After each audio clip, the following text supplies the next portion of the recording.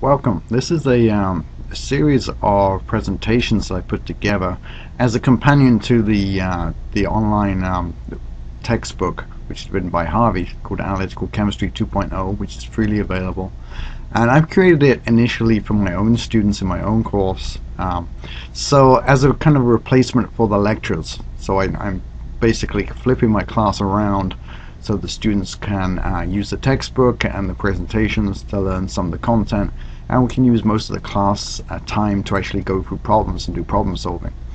Um, but I wanted to make this publicly available uh, because I could see potentially other people making use of it.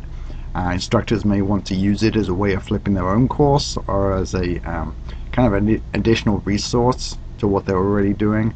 Uh, I could also see students using it as a study guide so I hope people make use of it in that way. Um, if you want to uh, please, uh, if you want to give comments or um, you find errors, typos, or more serious errors, please let me know. Um, you can do that by emailing me directly, or there is a Facebook page. You can leave comments on that. Also, if you're an instructor or um, an expert in a particular area of analytical chemistry and you're interested in putting together a, um, a Prezi in a similar kind of format, uh, I'd be more than happy to kind of link that um, to the, the table of contents.